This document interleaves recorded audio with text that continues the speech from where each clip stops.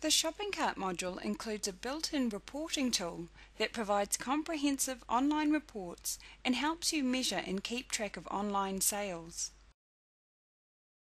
To view and export reports, log in and select the Reports tab from the Contegro Start menu. By default, an order summary report is generated when the Reports tab loads.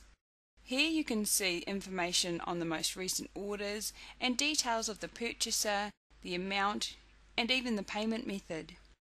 To view full details, including the purchased items, you can click on the order number or select the Order Summary with Items report.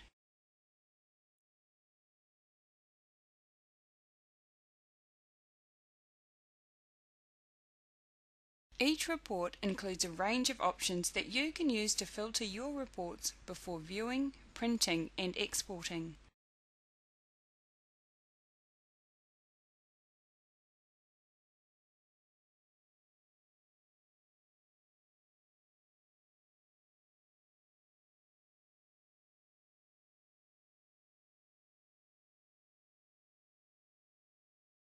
As you can see, there are a range of reports for you to choose from.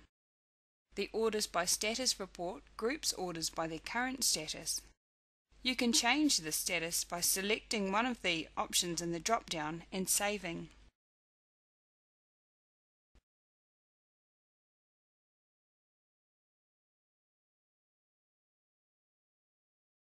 Another way to make changes or view an individual order is to select the Order Details report and then enter the order number.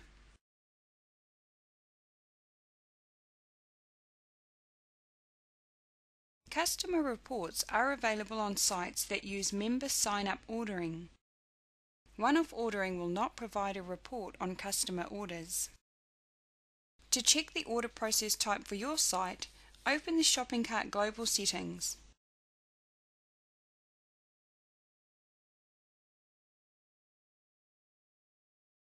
Use the Orders by Product and Product Management reports to view more information on the number of products ordered and the total revenue generated.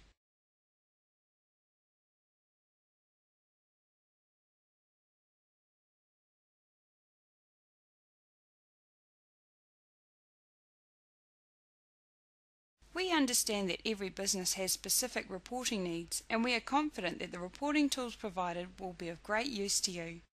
The benefit of using Contegro means that custom reports can also be developed to suit your requirements, so don't hesitate to contact your Contegro product specialist to discuss your options.